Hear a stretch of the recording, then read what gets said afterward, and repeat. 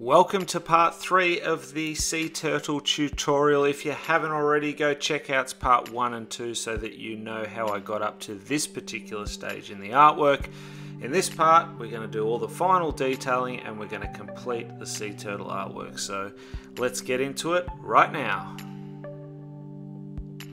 So using Trident White, so I haven't thinned this at all because I'm applying it with a brush.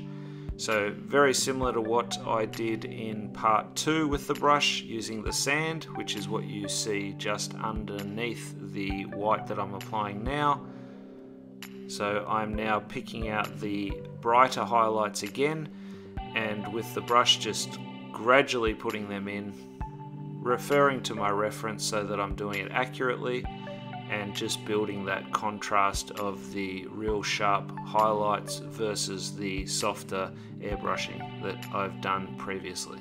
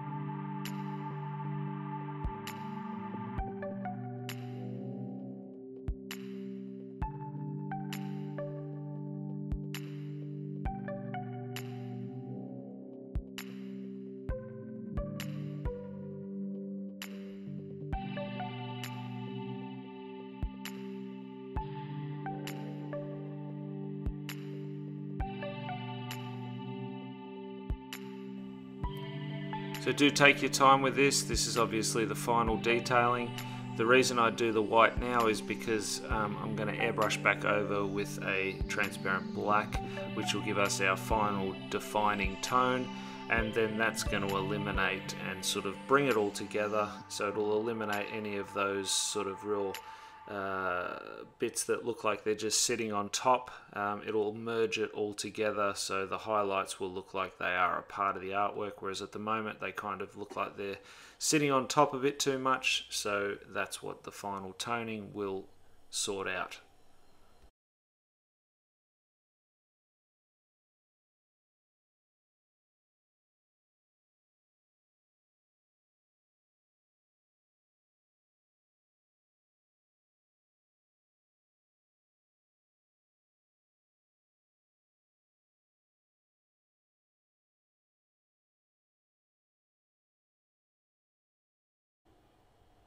Okay, so now uh, adding to my white, I'm going to add some reducer this time and brush it on. The reducer is, as you can see, making that white extremely thin and this allows me to just go in and I'm just going to highlight and get a sharper highlight on some of these reflections um, at the top of the, uh, the water level there So you'll notice it is going to seep into the canvas a bit once it dries, but at least I'm starting to get a very, very subtle sharp edge, which is what I want. I don't want it too harsh. Uh, this is sort of working well enough to just give it that sharp edge and blend back into it. So now I'm using transparent black. So this is transparent base. You mix that with your reducer to your liking and then adding drops of black to that. I have gone reasonably dark with this, so quite a few drops of black, so it's almost a solid black. However, by adding the transparent base, it allows that black to be a bit more um, transparent, so that that way you're not killing any of your detailing underneath. So even though I'm trying to keep that black within only those dark areas and that's important but if I am blending over a certain area it's just allowing that transparency to not ruin what I've done in my underlying layers.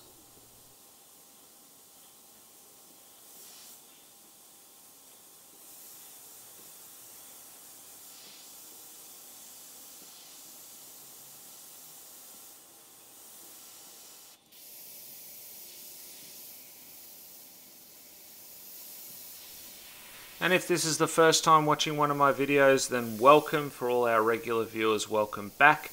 And if you haven't already, feel free to hit subscribe, tap on that bell icon, and that will notify you every time I put out new content. And if you feel that this video could be helpful to someone else, then by all means share it out and let's build this airbrushing community together.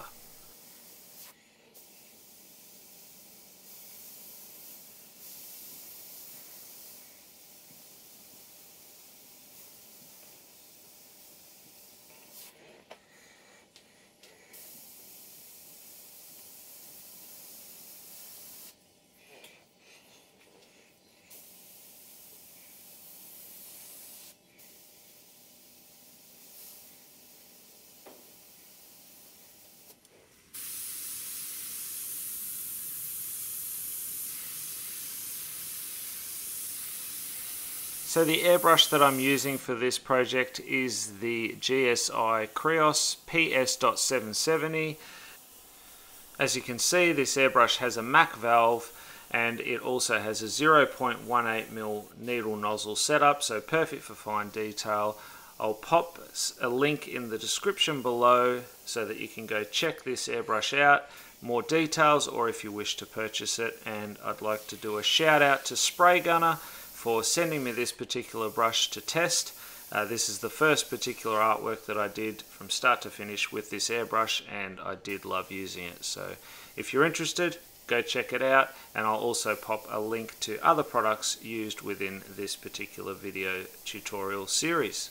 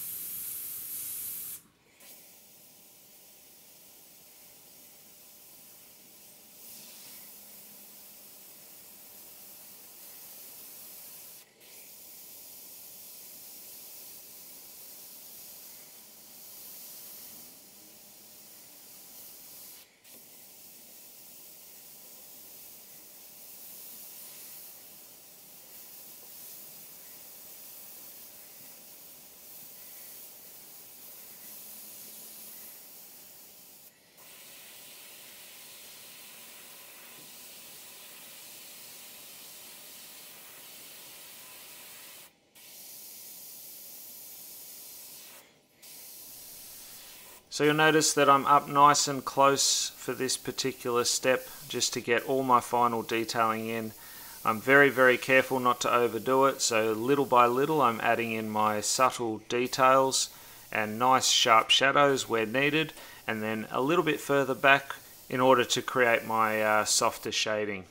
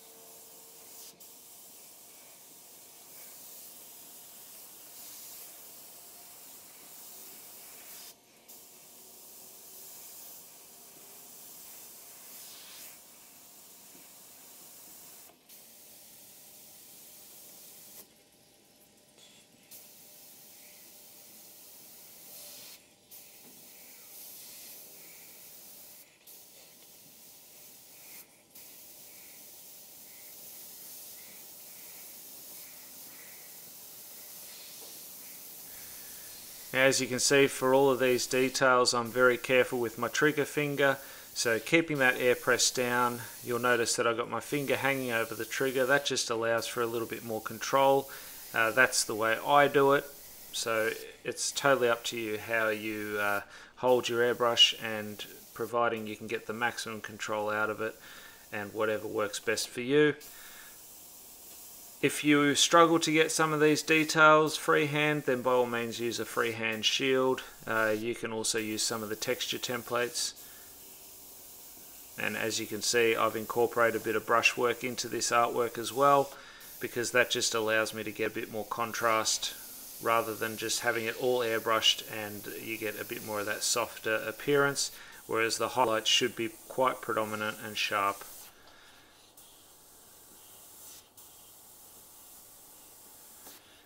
So you can see that eye's taking shape now. Just rendering over the top of those uh, blue sections underneath the turtle's eye and the markings around the eye.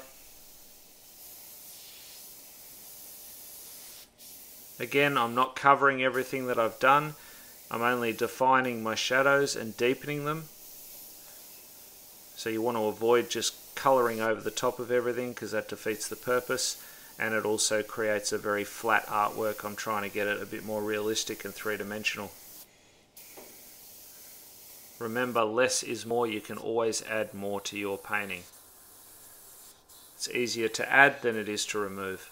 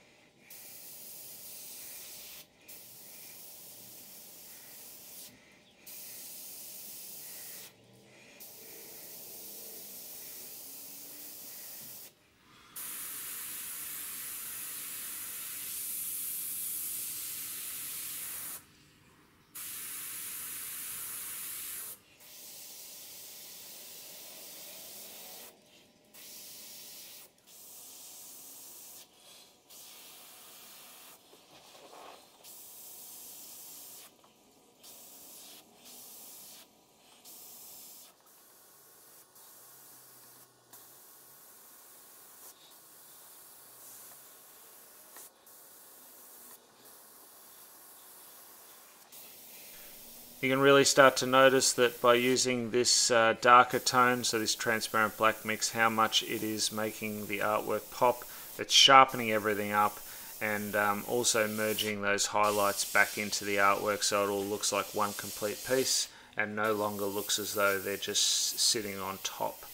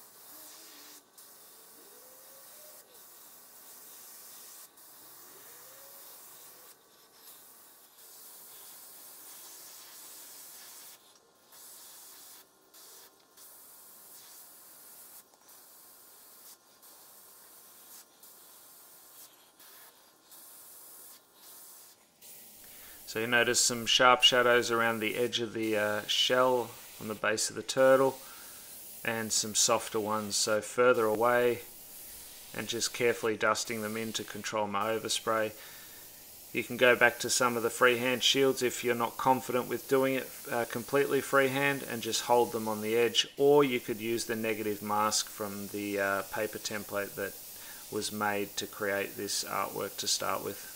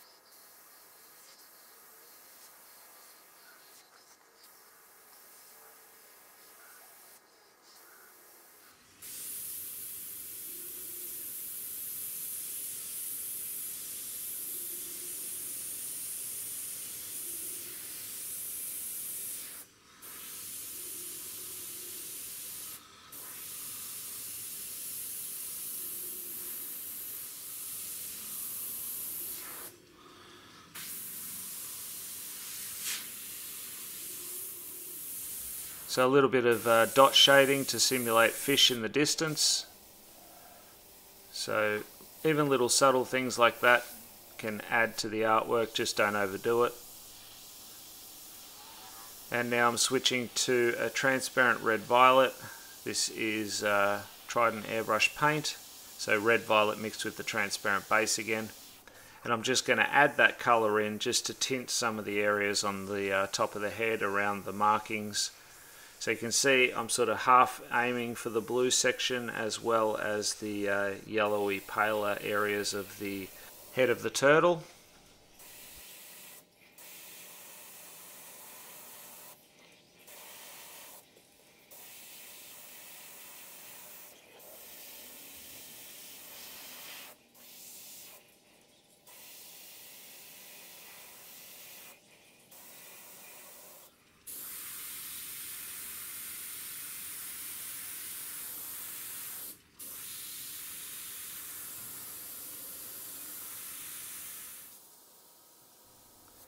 Okay, so I'm not going to go back in with white highlights using a brush. I'm using the airbrush now. And I'm just softening some of the uh, highlights back into the patterns on the head and in around the eye section. So again, I'm getting a variety of contrast by doing this. So I've got my sharper highlights achieved with the brush and the softer ones achieved with the airbrush. Even if you're up extremely close and you get a completely defined highlight, it's still softer than what the brush could achieve, so you are going to build that illusion and uh, it just gives you a little bit more of a sense of realism.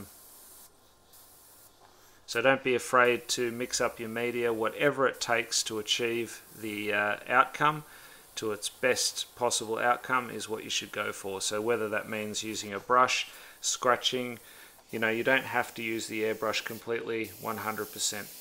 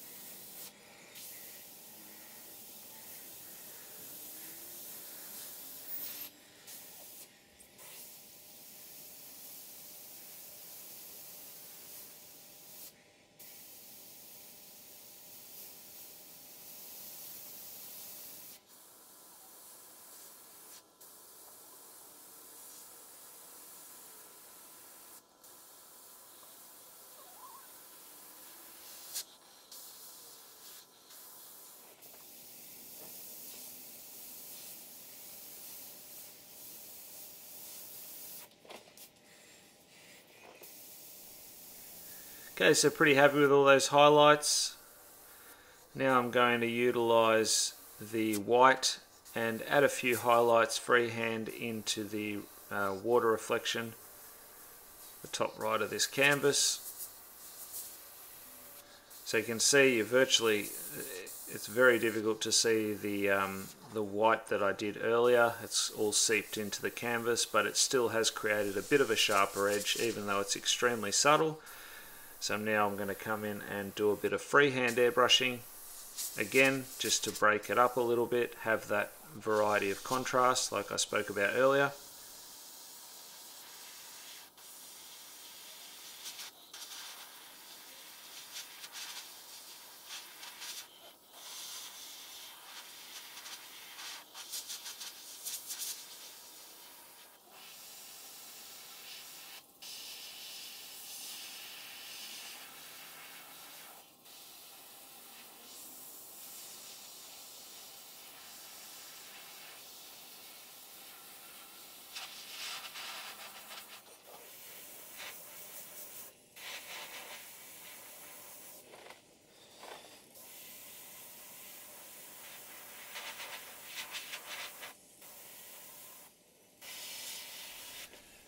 And now utilizing a texture template by Airshot Stencils, I'm going to sharpen up some of those highlights. So I'm just picking out random edges and spraying on those so that it's a bit of a mix of freehand and templating.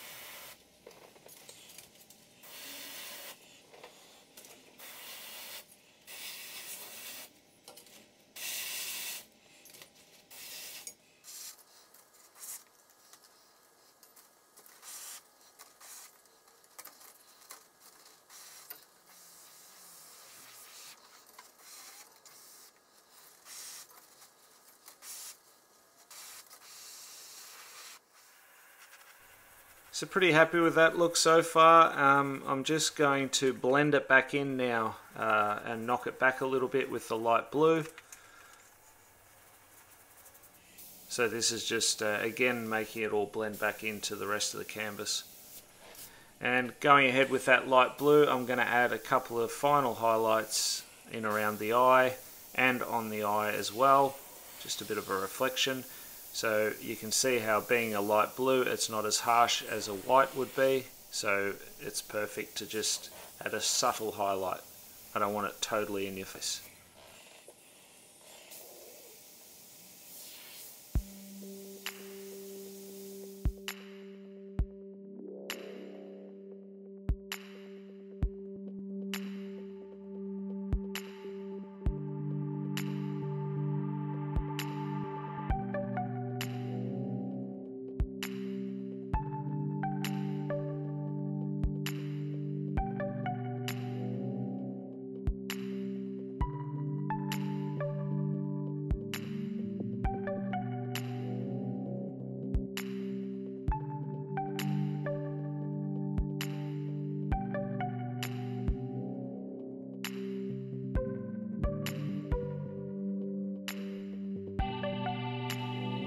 Okay, so here it is, the completed sea turtle artwork.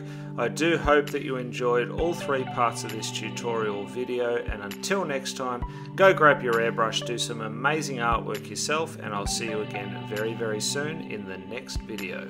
Thanks for watching, bye for now.